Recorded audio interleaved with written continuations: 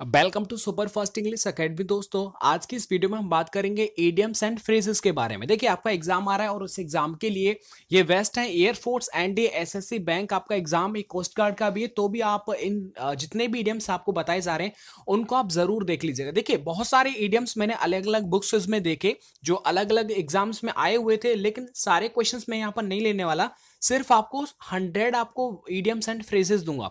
उनको आप याद करके ही जाना, जैसे आप औरों को भी याद कर रहे हैं तो इनको भी आप याद कर लेना, ठीक है? बहुत ज़्यादा ये आपको बता दूँ, ये इतने ज़्यादा इंपॉर्टेंट है कि एक दो तो क्वेश्चन इसमें ऐसे होंगे जो चार से पाँच बार एग्ज़ाम्स में रिपीट हुए चलेगा, बात करते हैं, सबसे पहला है कि flogging a dead dead horse मतलब फ्लॉगिंग ए डैड हॉर्स मतलब कोई मर गया एक घोड़ा और उसको आप क्या फ्लॉग कर रहे हो, उसे आप मतलब उठा रहे हो तो इसका मतलब क्या हो जाएगा? Wasting time in useless efforts यानी कि बेकार काम के अंदर आप समय को क्या कर रहे हो? बर्बाद कर रहे हो। क्योंकि मरा हुआ कभी जग नहीं सकता, उठ नहीं सकता ना।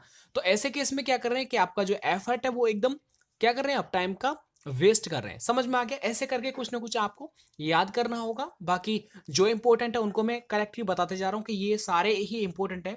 बाई फिट्स एंड स्टार्स इसका मतलब क्या होता है कि कोई भी चीज़ जब रेगुलर नहीं होती है इरेगुलरली उसे बोलते हैं अनियमितता। जो रेगुलर नहीं हो, उसे बोलते हैं बाई फिट्स एंड स्टार्स ठीक है?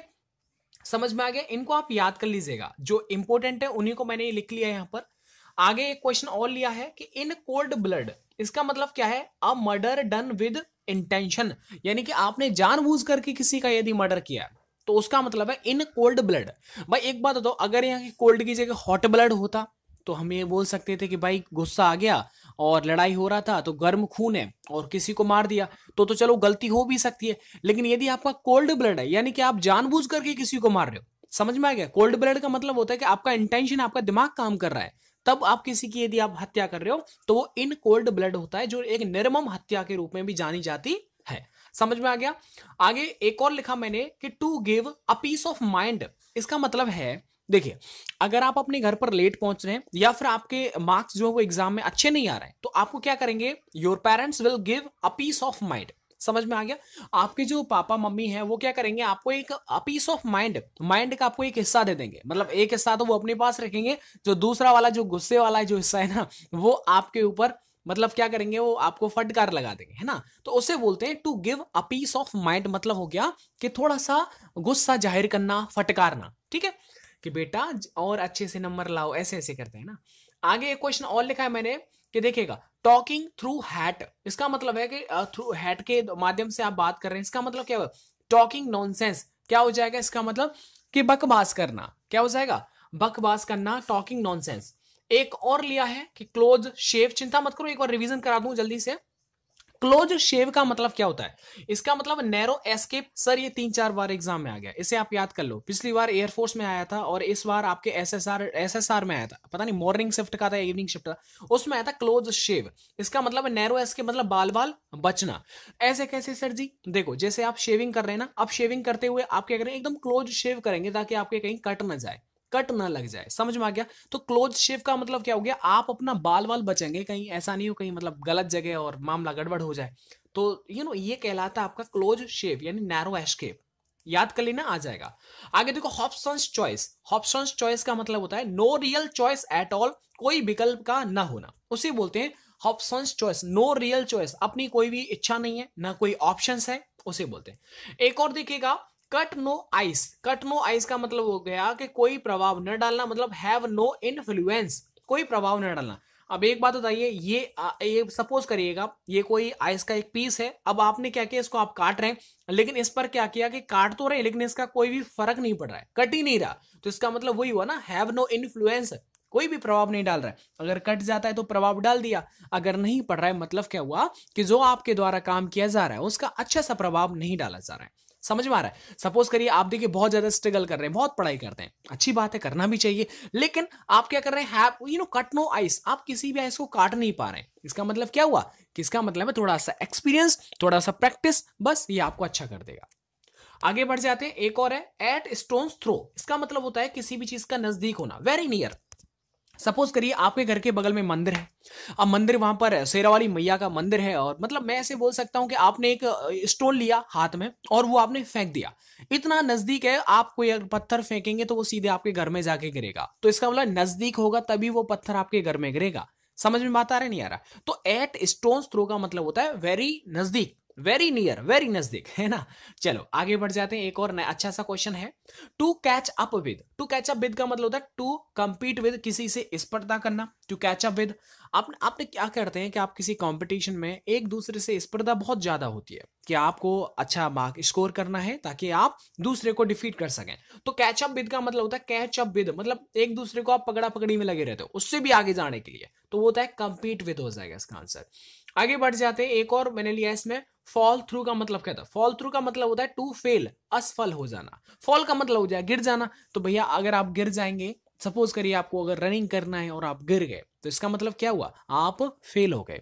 दोस्तों, ये ऐसा करना, आप इनको एक बार नोट कर लेना किसी भी नोटबुक में या फिर दो तीन बार देख लेना। वैसे बेसिकली एक तरीका बताता हूँ मैं आपको।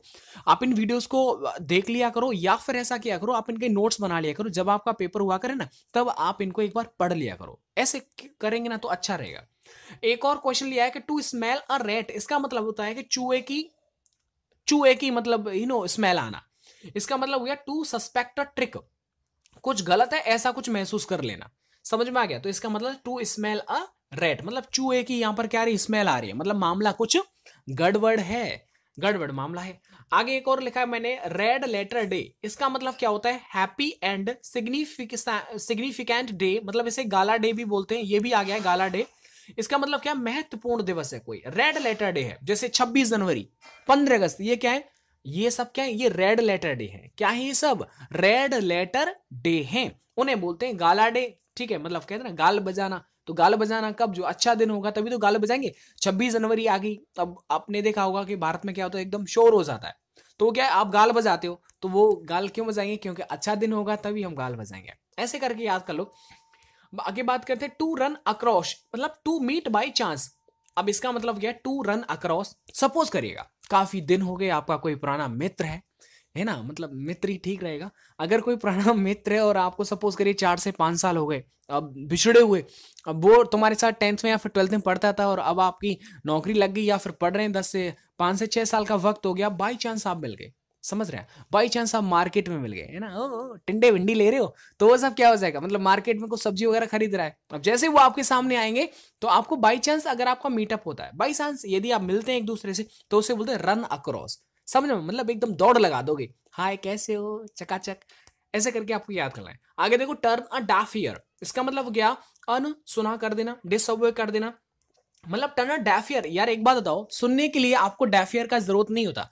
आपको सिर्फ़ कान लगा, लेकिन आपने क्या किया? किसी ने बोला कि, बेटा, ऐसा करो, अब देखो छोटा सा बच्चा है ना? अब उससे आप बोलेगा कि, बेटा, ऐसा करो, दूध पी लो। अब दूध पी लो या फिर दूध रखा हुआ, वो पी लो। तो नहीं पिएगा ना। मतलब अब क्या है, हम उसको सुना रहे हैं कि, बेटा, ये कर लो, ये कर लो। लेकिन वो कमी ना वो नहीं कर रहा। इसका मतलब क्या हो गया, उसने अपना जो डैफियर, जो उसका बहरा हुआ, बहरा कान है ना, वो आपने टर्न कर दिया। अच्छा कान उधर और जो बहरा कान है, वो तुम्हारी साइड में कर दिया। इसका मतलब क्या होगा बहरा कान यदि आपकी साइड में कर दिया जाएगा तो इसका मतलब है कि आपको वो नहीं सुन पाएगा। इसका मतलब अनसुना कर दिया जाएगा। ऐसे करके थोड़ा सा कहानी रिलेट करोगे ना, समझोगे इन वर्ड को तो ऑटोमेटिकली याद हो जाएँगे। बट देखो, ये थोड़ा सा प्रैक्टिस की ज़रूरत पड़ता है। थोड़ा सा आपको एक दो बार पढ़ना पड़ेगा, बाकी ओवरऑल हो जाता है, कोई दिक्कत नहीं आएगा आपको। एक और देखो एट एट स्नेल पेस देखो स्नेल पेस का मतलब होता है to do things very slowly बहुत धीमी गति से आप कोई भी काम कर रहे हैं। आपने देखा होगा, आपका एग्ज़ाम आ रहा है और अब आप क्या कर रहे हैं कि जो रिवीजन कर रहे हैं, आपने देखा हाँ चार पाँच मैंने टॉपिक्स वो क्लियर कर लिए। अब आप या तो थोड़ा वक्त दे देंगे, एक दो घंटे के लिए वेस्ट मतलब एक तरह से टाइम वेस्ट करें, क्योंकि ये आपका गोल्डन टाइम है। ये इस टाइम पर क्या करना है आपको? पढ़ना है अच्छी तरह से। तो अब क्या करेंगे, आपकी जो स्पीड है, वो बिल्कुल धीरे, धीमे धीमे हो जाएगी। हो जाएगी, नहीं हो जाएगी? जब आप पिलग्रिमेज सपोज़ करो पिलग्रिम कर रहे हैं आप मतलब आगरा से करौली जा रहे हैं, कैला मैया की जय। अब वहाँ पर आप जाएँगे तो क्या हो जाएगा? जब आप स्टार्ट करेंगे पॉइंट में तो आपका स्पीड काफ़ी अच्छा होगा। लेकिन जब आप वहाँ पहुँचेंगे तो क्या हो जाएगा? एट स्नेल पेस हो जाएगा। आपकी जो गति है, वो बहुत धीमी हो जाएगी। धीरे, क्योंकि आपके मतलब प्रॉब्लम होगा ना यार मतलब काफ़ी दूर है वो तो। आगे देखो एट वंस विट इसका मतलब क्या होगा पजल्ड कंफ्यूज्ड परप्लेक्स्ड इसका मतलब कोई इंसान घबराया हुआ है। एट वंस विट का मतलब क्या हो गया? कोई भी इंसान घबराया हुआ है। समझ में आ गया? सपोज़ करिएगा, आपका रिज़ल्ट आपके फेवर में नहीं है आपका पापा जी पूछ रहे हैं और उनका जूता बगल में रखा है हाँ बेटा, आ जा। तो वो क्या होगा? आपसे पूछेंगे, आपका रिज़ल्ट क्या हुआ? तो आप उस टाइम पर क्या आपकी जो कंडीशन रहेगा, एकदम परफ्लेक्स रहेंगे कंफ्यूज रहेंगे बताऊँ ना बताऊँ पजल्ड रहेंगे। मतलब क्या एकदम आपकी जो कंडीशन है वो सही नहीं रहेगी क्योंकि जूता सामने है। अब उनको गुस्सा आएगा ना मतलब दो तीन साल से आप पढ़ाई कर रहे हो फिर भी मतलब कुछ नहीं है। हाँ, कुछ रिज़ल्ट अच्छा नहीं है। आगे बात करते हैं रीड बिटवीन द लाइंस इसका मतलब ये हुआ कि देखो ये लाइंस है ना इसका मतलब है कि कोई भी किसी हिडन मीनिंग को आप अंडरस्टैंड करना। अंडरस्टैंड द हिडन मीनिंग छिपे हुए अर्थ को समझ लेना। उसे बोलते हैं read between the lines suppose करिएगा कि अगर कोई भी कोई श्लोक लिखा हुआ है कोई दोहा लिखा हुआ है अब दोहे को आप पढ़ तो लिया लेकिन उसके अंदर का जो मतलब है उसको समझना that is called read between the lines समझ में आ गया ना? देखो आप इनको अगर मेहनत अगर थोड़ा इज़्ज़त देंगे ना इंग्लिश को आप थोड़ा प्यार करेंगे इसे और इज़्ज़त देंगे तो मुझे ऐसा लगता है सारा कुछ याद हो जाएगा। आपको बा, बाकी में ज़्यादा सा डिफ़िकल्ट आपको स्ट्रगल नहीं करना बस थोड़ा सा ध्यान दीजिए थोड़ा सा टेंशन तो आपको याद हो जाएगा। आगे देखो a man in the street इसका मतलब क्या हो गया? एक आदमी जो कि गली का आदमी, गली के अंदर आदमी। यार, गलियों के अंदर तो एक कोई ना कोई कॉमन मैन रहेगा ऑर्डिनरी पर्सन रहेगा। यस और नो भाई, गलियों के अंदर पैसे वाले लोग जो होते हैं ना, वो तो यार उनके तो डायरेक्टली क्या होता है? रोड पर उनके घर बने हुए रहते हैं। रहते नहीं रहते? तो अगर गलियों के अंदर मतलब क्या हो गया? कोई कॉमन पर्सन है ना, जैसे तो इस चीज़ को आप समझ लीजिएगा a man in the street का मतलब कोई भी कॉमन व्यक्ति। आगे देखो ले डाउन आर्म्स का मतलब क्या हो गया? आपने अपने जो आर्म्स है, जो आपकी भुजाएँ हैं, वो आपने क्या कर दी? ले डाउन कर दी, नीचे नीचे झुका दी, डाल दी। इसका मतलब क्या हुआ? आपने सरेंडर कर दिया। आप सरेंडर करेंगे, आप क्या करेंगे कि आपके जो आर्म्स हैं, वो ले डाउन हो जाएँगे।